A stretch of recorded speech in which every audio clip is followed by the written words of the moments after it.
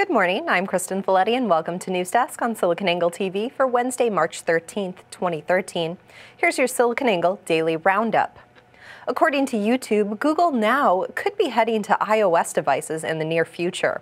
A Google Now for iPhone and iPad promotional video was spotted on YouTube yesterday, although it has since been removed. Comparisons to the original Google Now video have led many to believe that the new video was authentic.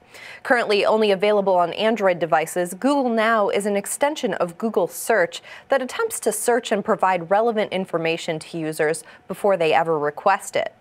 It's possible that the video was a fake, but with Google's preference of pushing its technology to as many platforms as possible, there's a good chance that we'll see Google Now on iOS devices soon.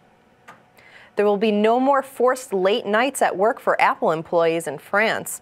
In response to a lawsuit by a group of national labor unions, a Paris court banned Apple from requiring employees to work past 9 p.m. and insisted that the technology company pay the labor unions 10,000 euros in damages. According to French labor laws, businesses cannot force employees to work between the hours of 9 p.m. and 6 a.m. unless they can prove that doing so is necessary to maintain economic activity or to provide social services. Apple stores close at 9 p.m., but employees had been required to stay as late as 11 p.m. to close everything down. No word yet on what kind of appeal options, if any, Apple might have. Jeff Bezos' Prime strategy is paying off for Amazon.com. The e commerce company doesn't disclose official numbers for its Prime program, but using data from a market survey report, analysts now believe the number to be higher than 10 million. That's only 4% of Amazon's active users, yet they account for nearly 10% of purchases and contribute to about a third of the company's operating income. Amazon Prime members enjoy perks such as free shipping and access to Amazon Prime Videos, a service that competes with online streaming companies like Netflix.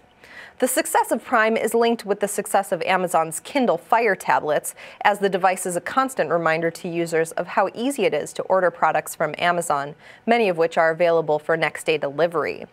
This was Bezos' plan, and so far it's a calculation that's adding to Amazon's bottom line. Attention celebrity tweeters, Big Brother is watching.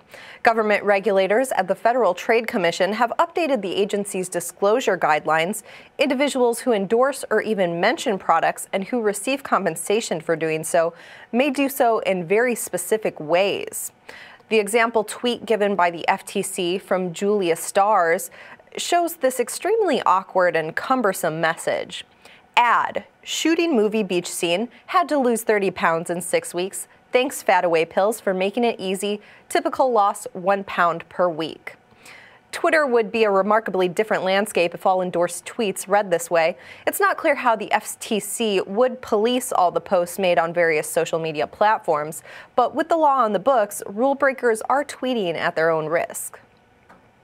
The Computer Fraud and Abuse Act is under fire. A group of startups and innovators sent a letter to the House Judiciary Committee urging them to modernize the CFAA. Under the existing law, Aaron Swartz, the co founder of Reddit, was being prosecuted by the Justice Department for hacking MIT's computer network and downloading millions of academic articles from the online archive.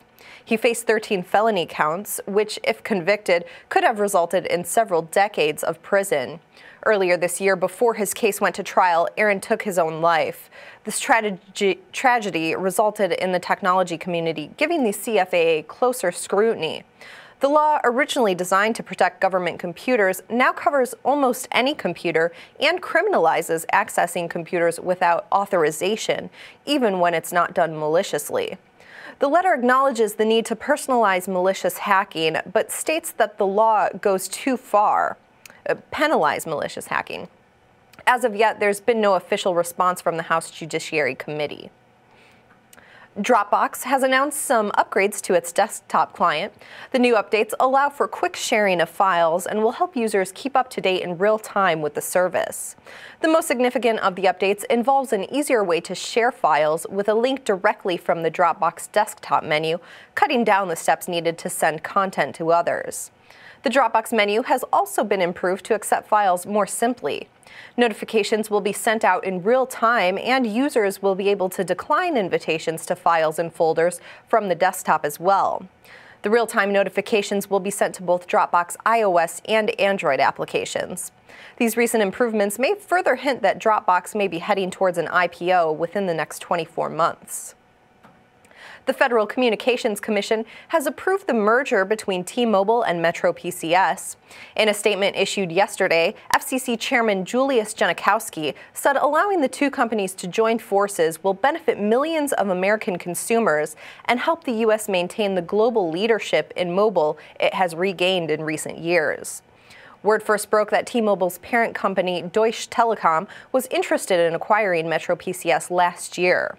The merger will provide T-Mobile with resources to grow its LTE services, allowing Metro PCS customers to access 3G service via T-Mobile's GSM network, while Metro PCS's CDMA spectrum will be repurposed for LTE. Microsoft is gearing up to market Nokia's upcoming Verizon flagship smartphone, the Lumia 928. Known previously as Laser, the Lumia 9, this Lumia 920 variant will include some significant changes that make it a new standalone device. Nokia will switch to aluminum for the 928 with a xenon and LED flash combination for the 8 megapixel PureView camera. The 928 will launch a 4.5 inch OLED display and support for simultaneous voice LTE. Nokia's new flagship will also reduce the weight and thickness compared to the Lumia 920. The Lumia 928 handset is set to launch in April on Verizon. Legislation will be introduced in the California Senate on Wednesday that could change the way we think about the college experience. The legislation would require the state's public colleges and universities to give credit for faculty approved online courses taken by students who are unable to register for oversubscribed classes on campus.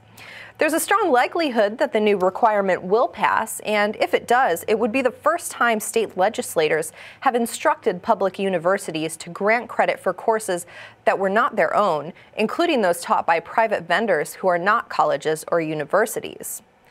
Darrell Steinberg, president of the Senate, says, We want to be the first state in the nation to make this promise. No college student in California will be denied the right to move through their education because they couldn't get a seat in the course they needed.